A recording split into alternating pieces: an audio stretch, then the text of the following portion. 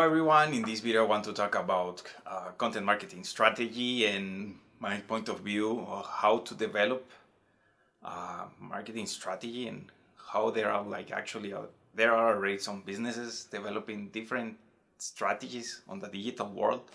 And I want to talk about the one that I consider it will be like the doctor strategy. So I will call why I call it like this. And if we do like a self-analyze or something because i sometimes do it for myself or if you go and think about anything not related to health but when you go to google and when you google there is already one quote that i read uh, googling symptoms just tell you which disease uh, already has a better uh, sale and which uh, page is actually the one that has very sale for the certain type of disease and problems.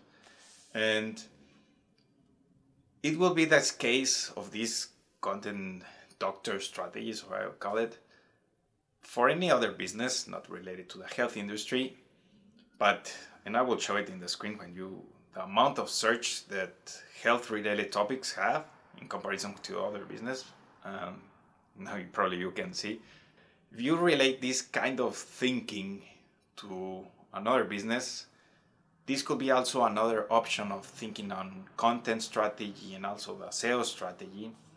Because when thinking, okay, in general terms of digital marketing, we have the content marketing, social media marketing, email marketing, and also social selling. And there are like these, these different options that, okay, we cannot just like go and specify, okay, this is the best and perfect strategy. No, there are several, and this is that good thing I think about um, about digital marketing and content marketing strategy that you can try, and the A/B testing is good for trying content marketing. And if we relate this doctor strategy to your own business, then you can see it like, okay, I'm a doctor for many people, and I'm trying to solve people's problem. And if I will relate it, okay, Let's take an example like general business uh, software that might be called uh, ERP or CRM or any other related uh, software for businesses.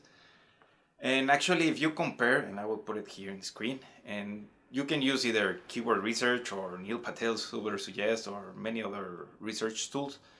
And I'm showing when you compare ERP with, for example, Excel or many other the most i think excel is more the most known software for making spreadsheets but also like for doing this um, the visual basic stuff and creating and using the templates inside the excel for managing our businesses. And if you already know that erp systems are good they help you to optimize uh, the business processes and so on why still people like searching for excels like in this a big amount of, of traffic and not erp systems that they tend to be uh, better or they help you? And that's the part where i think it comes up this doctor content marketing strategy or idea. Because if people start to aim for reaching out like this is a, a tip that i say that like, if you aim for uh, spreadsheets. There are like for point of sale systems or for inventory management or any more other related stuff like regarding to business in general then you might start to attract this part of pulling.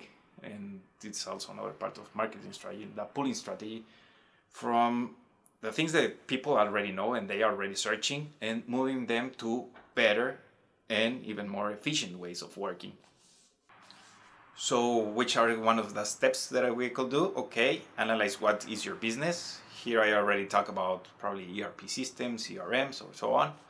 But for example, if you're a, I don't know, restaurant consulting business and if you're trying to aim to for more restaurant, more leads and okay, how many people are searching for, I don't know, restaurant consulting and I will put it here on the screen, the number. And now if we compare the number of let's say I don't know what may what could be the main problems of a restaurant owner or what are they trying to look. So probably if we start to attempt not only from the recipes, I will say, and if we start aiming like for the recipes and if you start to point yourself like a big expert on recipes, just giving up a here a topic, then we can start also this slightly and slowly pulling technique also in video, in video YouTube strategy or so on. Not only on the social media marketing, that that one I could consider it myself more of a push strategy rather than pull. I prefer pull strategies. But this is another part of creating yourself a brand awareness and still creating this lead generation, trying to push and position it yourself as a thought leader, so I can say. And by pulling and bringing out people from the main topic to the topic or the, the things that you're selling and the ones that you are actually good at. And that people can see that okay this is even better than the things that i already know. Try to go to what already people is talking and searching and try to aim for that. And i will show you here uh, another example of wise. Uh, actually when i was like searching for inventory management spreadsheets curiously i just found um, the, this page about inventory management what does has to be done with like related with TransferWise or CloudWise with um, spreadsheets? And well that's part of a content marketing strategy that if you start to aim for things that people are already looking for and they just found gold even if they were like looking for copper let's say this is one another of ways of showing okay here's what you're looking for. You're looking for inventory management spreadsheets.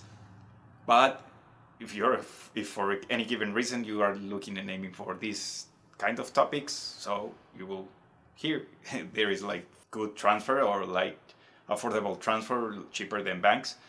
So this is a part of the what i say it's like the doctor's content marketing strategy.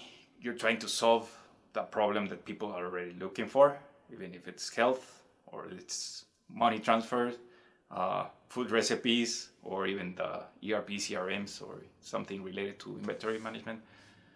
But try it for yourself. Actually, for myself and for my blog, I'm just creating also new blogs oriented to for the most research terms. So, in my blog, I can see that the numbers are slowly growing. So, so I hope that um, this opinion helps you if you're also aiming for content marketing strategies. And thanks for watching don't hesitate to write on the comments and give a